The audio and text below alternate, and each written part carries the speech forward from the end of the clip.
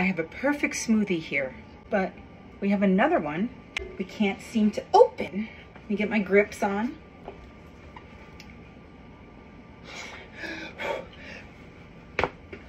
Did I? No, didn't work.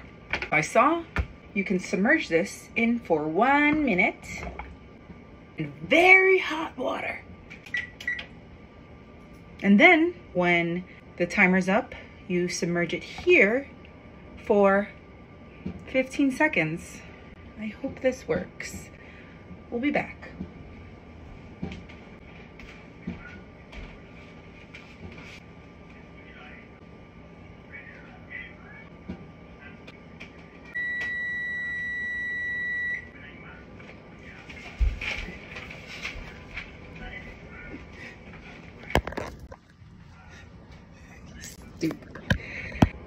Done.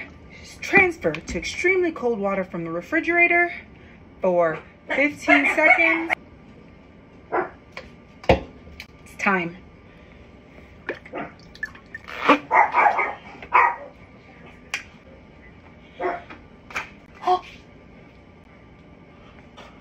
I got it open.